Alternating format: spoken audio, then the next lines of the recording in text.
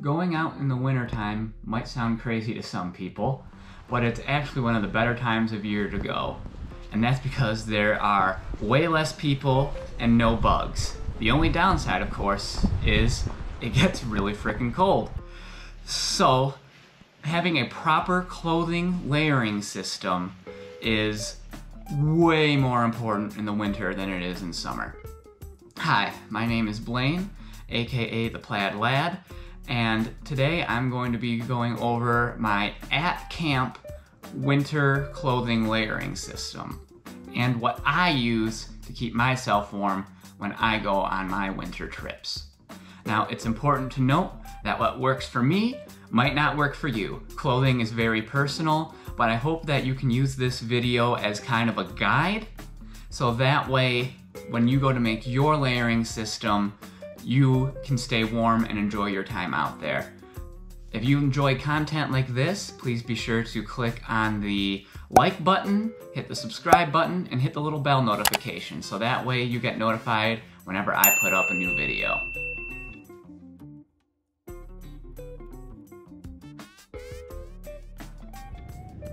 So before we get into all the clothing items, we should talk about what to look for in your clothing items. Number one, you don't ever want to wear cotton. Nothing like this, all right? Um, cotton kills. That's that's the cliche phrase at this point, all right? The reason for that is cotton doesn't wick moisture, it absorbs it, and when it gets wet, it will suck your body heat out from you. So you want something that's either made out of a synthetic material like a polyester or uh, nylon, uh, something like that, or so, uh, different kinds of wool. Um, typically, I like to hike in synthetics and I do wool at camp, but there's exceptions um, all the time. So without further ado, let's get started.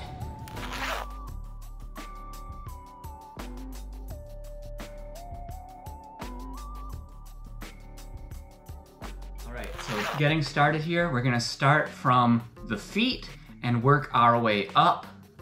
Uh, so without further ado, let's get started. My first thing for at camp is my base layer, which are these darn tough um, mountaineering socks.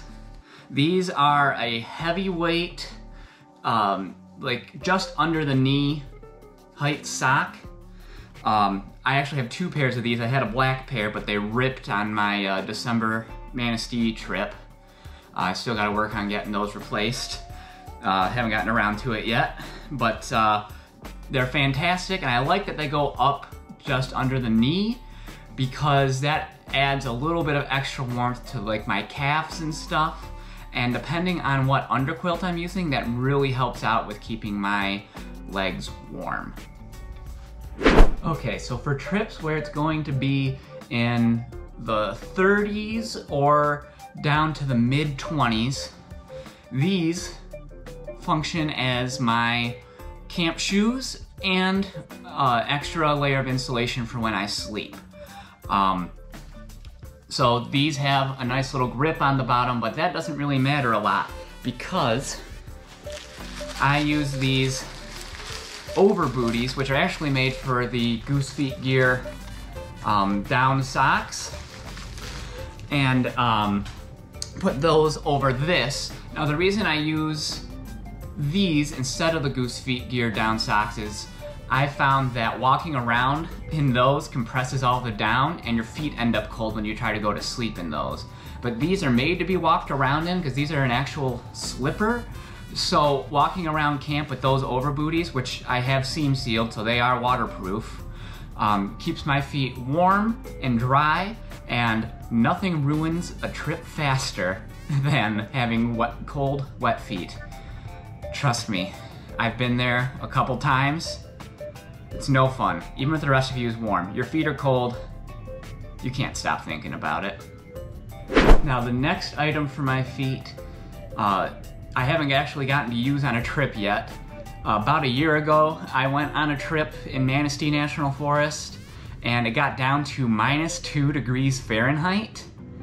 And uh, my feet were cold the whole time. Didn't matter if I was moving or not. So, to combat that, because I watch way too many YouTube backpacking videos, I stumbled upon the Steger Mukluks.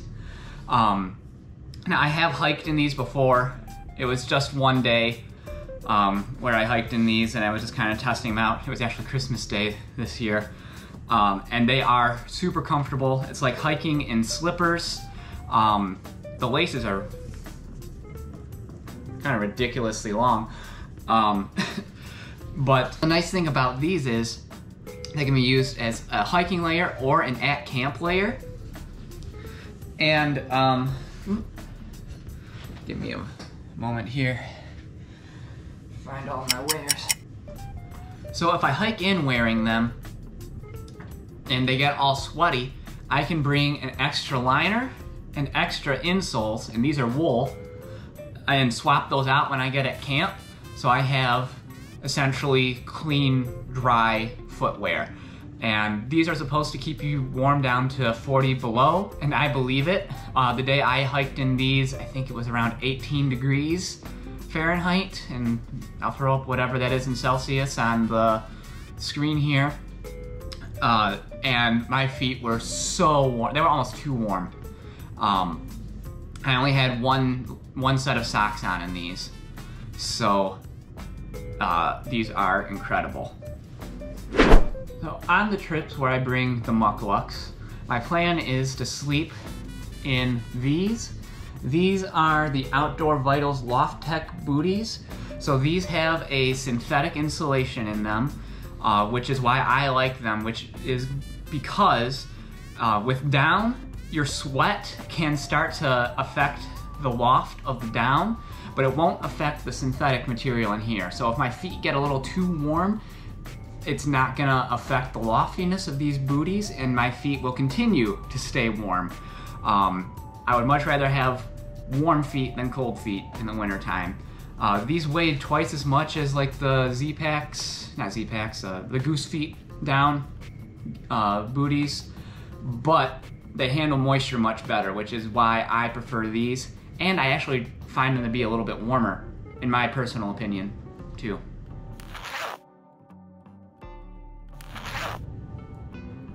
Okay, so moving up the body now, we're going to go to my legs.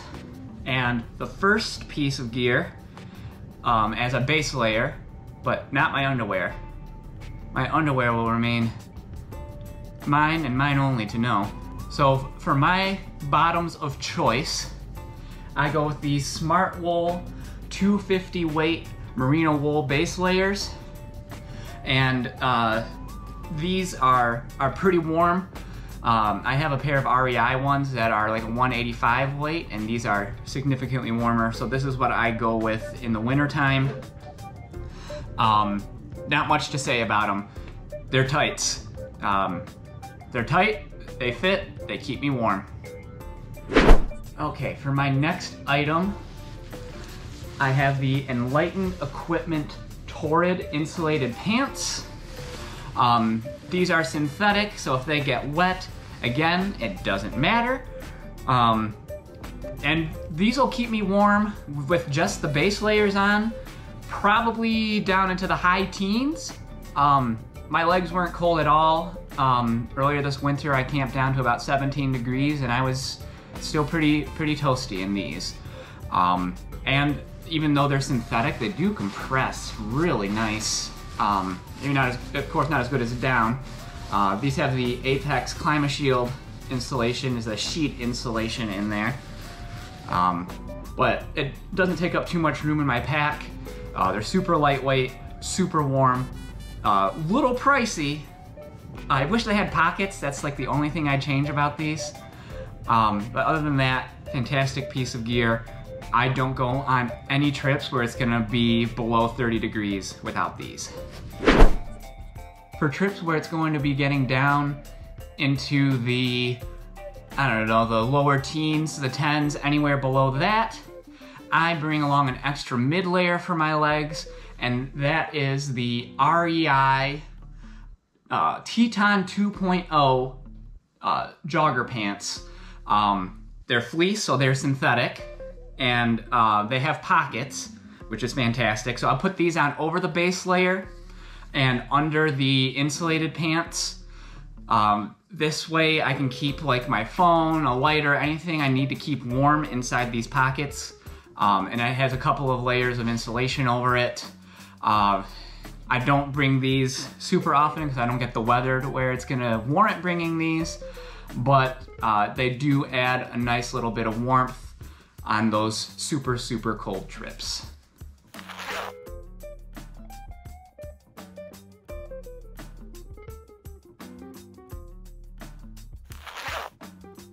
All right, moving up a little further up the body now to my torso. Um, I have my first base layer, which is another Smartwool 250 weight base layer.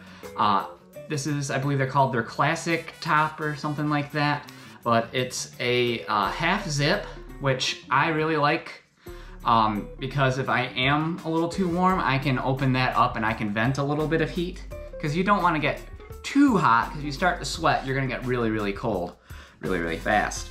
Um, but this is very, very warm. I was again using an REI 185 weight one last year. I've been using this all year long and uh, it's incredible.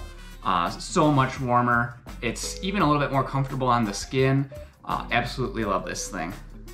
All right, so as a mid layer, I've been bringing, um, I've only brought it on the past couple trips, but I've been really enjoying it. This uh, alpaca fleece hoodie from the Appalachian Gear Company.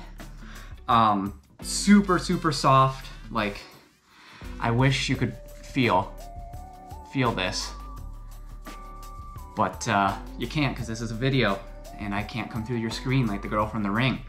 So, um, uh, not not much more to say about it. Um, it seems pretty pretty dang sturdy.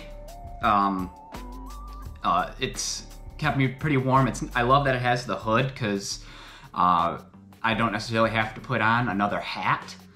Uh, I can use the hood as part of my head layering system too, so super nice.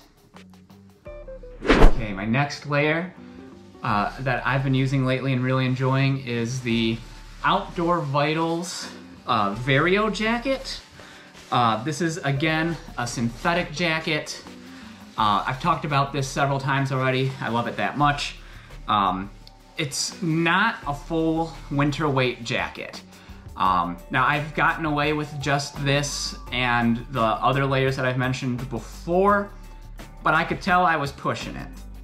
So I would bring this as an extra mid layer if it's gonna be like really, really below freezing or, or right around, sorry, not freezing, below zero. It's gonna be really, really below zero uh, or close to zero. Uh, I would bring this as an extra mid layer, but I wouldn't rely on this solely. Now for a really good dedicated winter layer, I bring the Enlightened Equipment Torrid Pullover Jacket. This again has the um, Apex um, Climashield. I think that's it. Yeah, Apex Climashield uh, insulation in it, but this is a much heavier weight as far as the insulation goes. It's actually lighter than the Vario jacket by like a fraction of an ounce. Um, but this is super warm. It does not really compress as small even as the pants though. Um, yeah, doesn't compress a lot, so that's kind of the downside of it, but it's super, super warm. Um, and it's a little big on me because I got this before I lost my weight. I've lost about 80 pounds. Um, so I can actually layer quite a bit under this. And it does have cinched draw cords around the hem, which I really like to help um, lock things in. So I can have layers on this and then cinch it down to, uh, to my liking.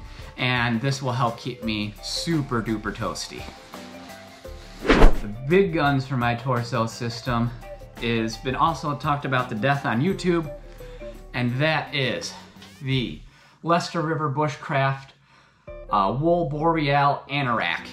This is a stupid expensive item, but it's it's hardy as hell. Um, this is an heirloom item. I can probably pass this down to my kids and they can probably pass it down to theirs. Uh, this is made out of, literally made out of an old army wool blanket. This is not soft at all like a uh, merino wool or an alpaca wool, but uh, it's flame retardant. Snow just beads up on this. This thing doesn't even really get wet.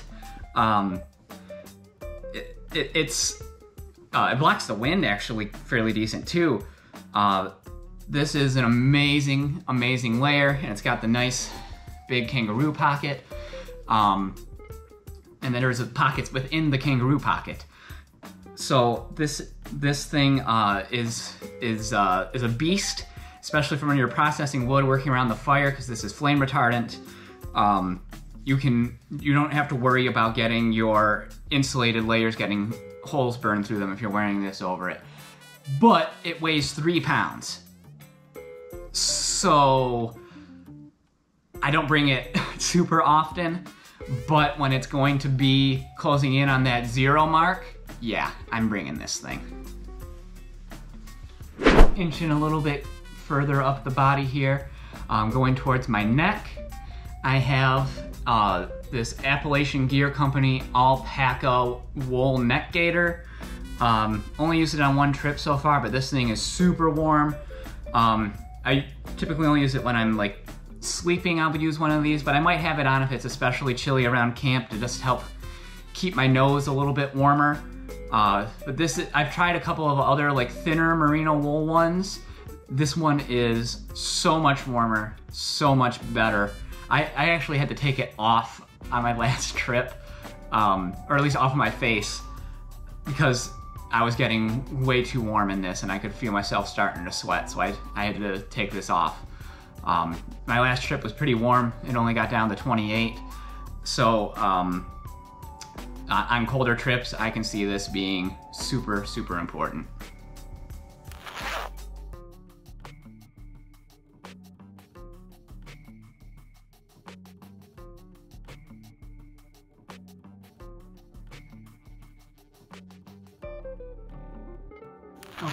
Moving on to my hands.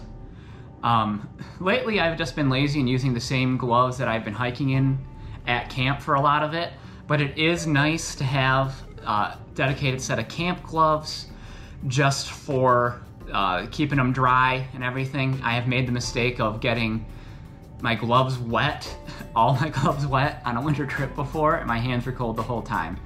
No bueno you don't want to be there. As, as much as it sucks having your feet be cold, it sucks almost worse having your hands be cold because you can't do anything if you don't have the dexterity.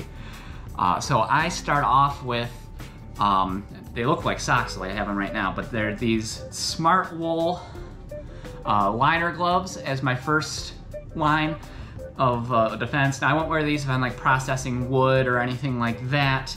Um, but sitting in my hammock at the night, at the end of the night, they do have the little um, touch screen fingertips. They don't work super great, but um, I can start up a movie with these on and keep my hands nice and toasty while I'm inside the hammock. My next hand layer that I'll typically bring with me are these Enlightened Equipment Torrid Mittens. Um, this video is not sponsored by Enlightened Equipment. I don't have any sponsors because my channel is ridiculously small right now. Um, but I just love their, their gear.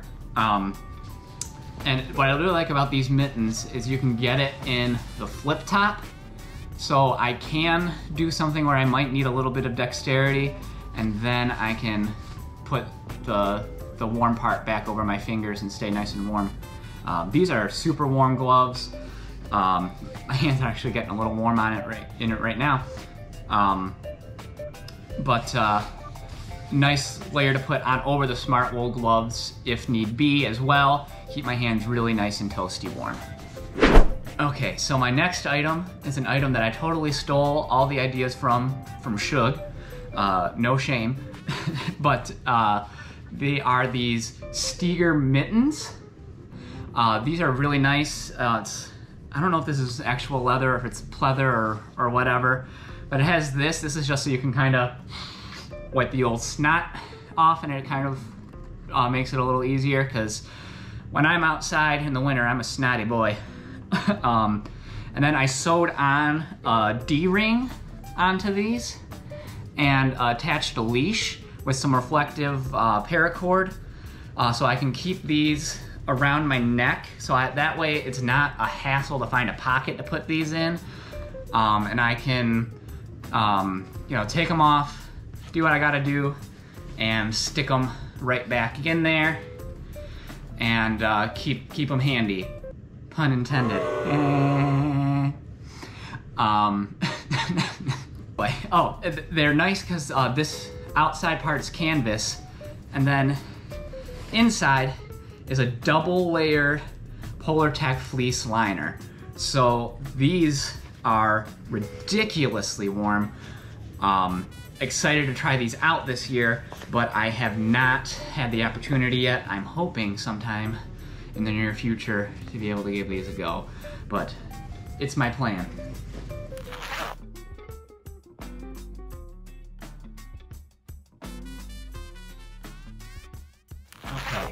So now it's finally time to move up to my my head, which needs a little extra protection in these conditions.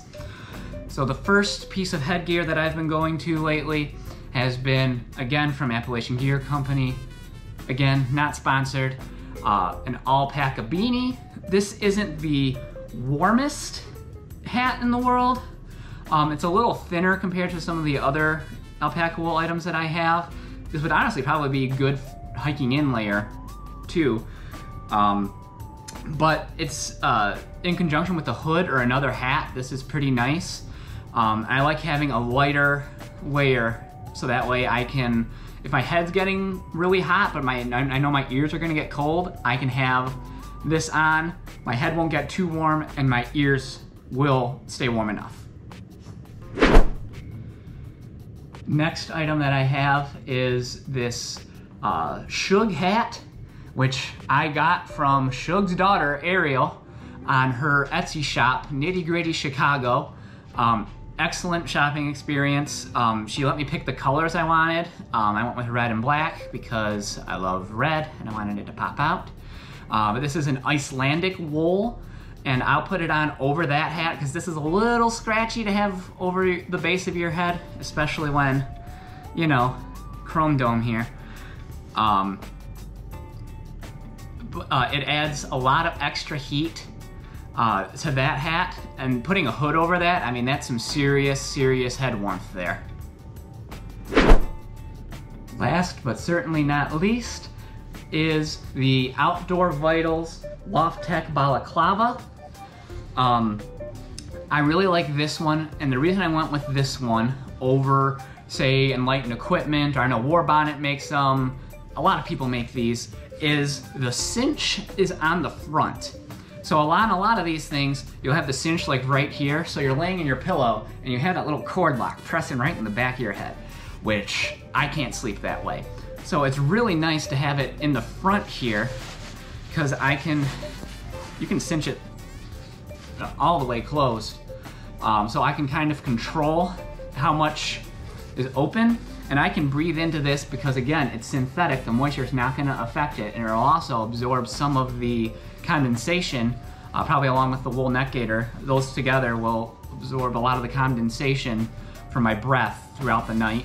Uh, and I like to use a winter top cover, so that's a, a thing I usually have to deal with.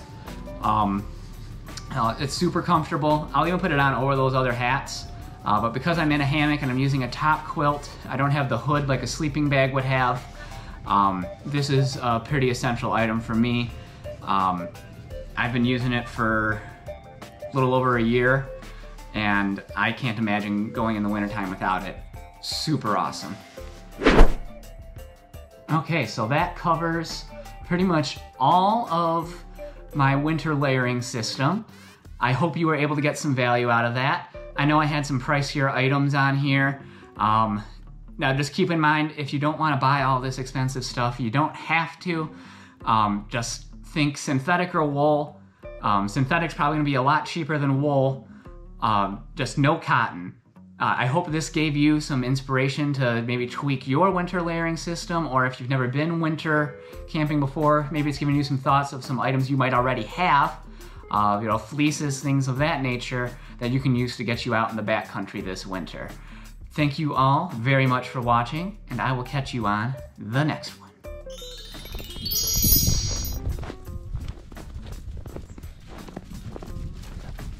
Another thing that'll keep you warm is your snow puppy. For three.